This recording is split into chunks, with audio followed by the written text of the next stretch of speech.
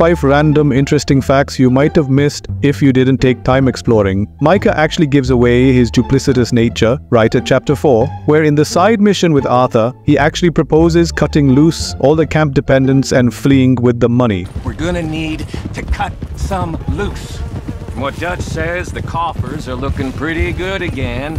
The same guy in the previous chapter tells Dutch and Arthur that his biggest flaw was caring too much. Molly is completely off the rails in chapter 4. One moment she is restless and the next moment she is calm. In the final encounter with the Appleseed foreman, players can actually see the lumbermen conspire to leave all at once. They also make fun of the foreman and call him a bootlicker. The outhouse beside the cabin where we finally meet Micah has a long dead and frozen man who has a crutch. The door's locked from the inside, which means the man went to shit and froze to death. Javier occasionally plays famous songs like Clementine and Yellow Rose of Texas.